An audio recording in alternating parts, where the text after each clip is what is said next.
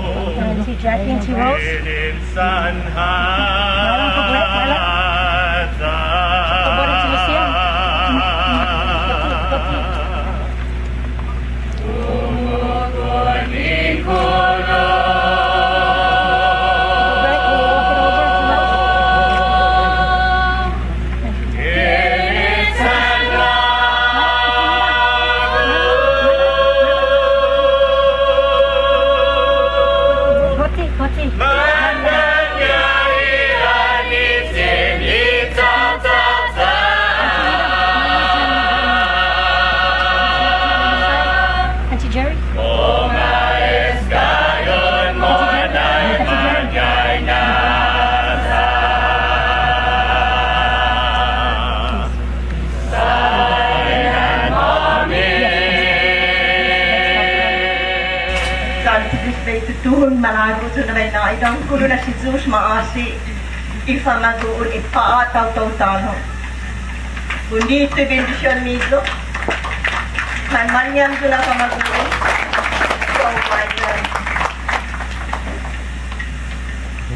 Kaluani si Zeus, Archbishop Anthony Apron, Ali Eric, San todos handuguini man dan espesyal na bisita. Maniluho mas gwini ni manyan. Esta sa lumala When I was first approached to give a reflection for today's ceremony, I was both honored and admittedly a little daunted. Although I am a Manengon survivor, I was just 15 months old during the internment in this same valley. Merely an infant. I have no memory whatsoever of the time I spent here. Unlike other survivors who have spoken about their experiences here, I have no such memories to share. But that is not to say that my life has not been indelibly marked by the atrocities committed here 67 years ago. For just as I have no memory of being interned here, I also have no memory of my mother, who died here at the hands of Japanese soldiers at the age of 27, beaten to death while she cradled me in her arms. I have only the stories told to me by my elder relatives and other survivors who witnessed the events. I have been told many times throughout my life about this beautiful, strong-willed, vibrant woman named Hannah Chance Torres, who not only gave me life, but who protected my life until the end of hers, shielding my infant body from the blows of a bayonet, while her own body bore each strike. Many of us here today are mothers. All of us here today have a mother. So I'm sure you all know or can imagine how deep the loss of a mother is, particularly without any memories of her to cling to. Throughout my life, in spite of the pain and the longing to know what it must have been like to be embraced by my mother, to know her scent,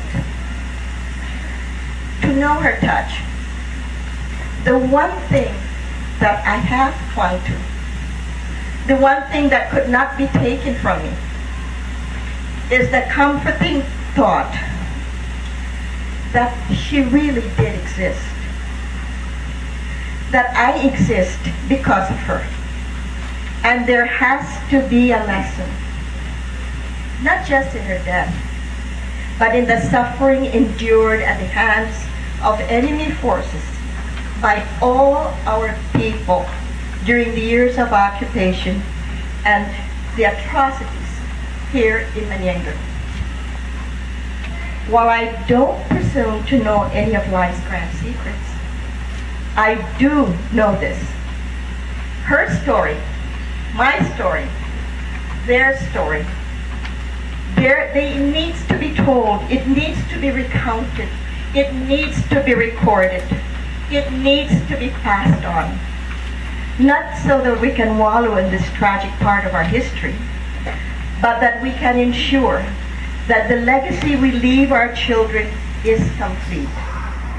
Part of this is the urgency with which we must transmit to our children the need to always be watchful and stand guard against any injustice.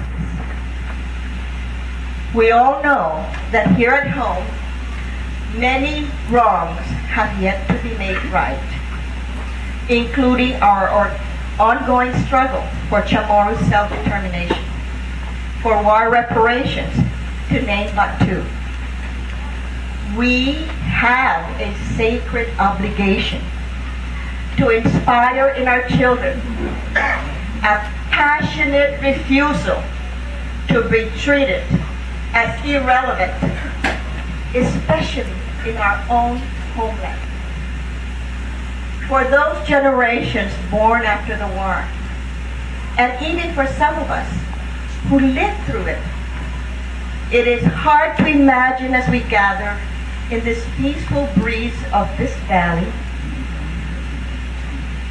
on this soil, beneath these trees, beside this river, the events so horrific and unthinkable that happened here. But they did.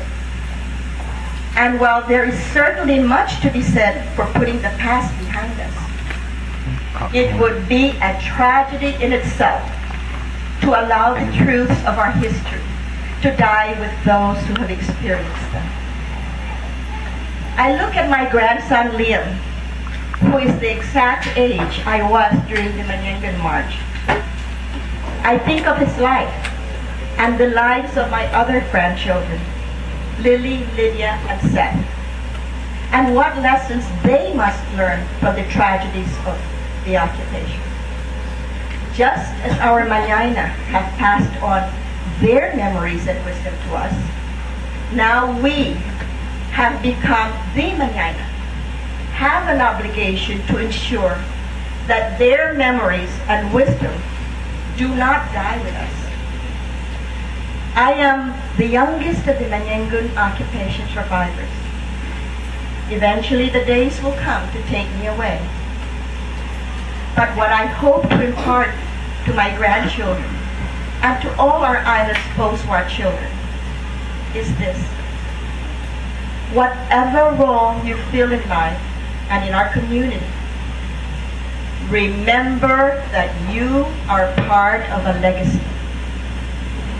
Take very seriously the legacy which you in turn will leave. I hope that I will live to see the day that we Chamorros finally determine our political status. I hope to witness other victories of social justice in my lifetime.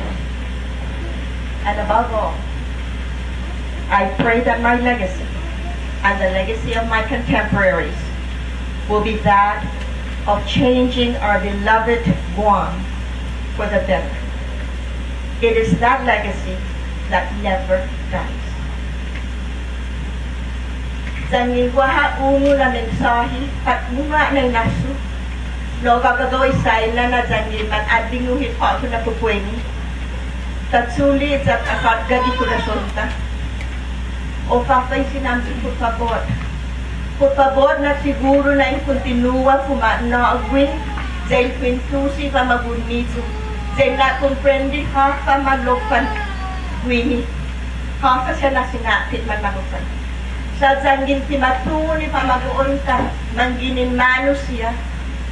Kung makat sa makot para umaditig nina, para mono siya tinalong. Quintusi don na alaala, ihinasyo dyan, iligay na hinadesi dyan, minihan mga tayo minihan ka. O dayam sa daw kung na si Zeus maasi, ginanap ko medyo pa na pwede.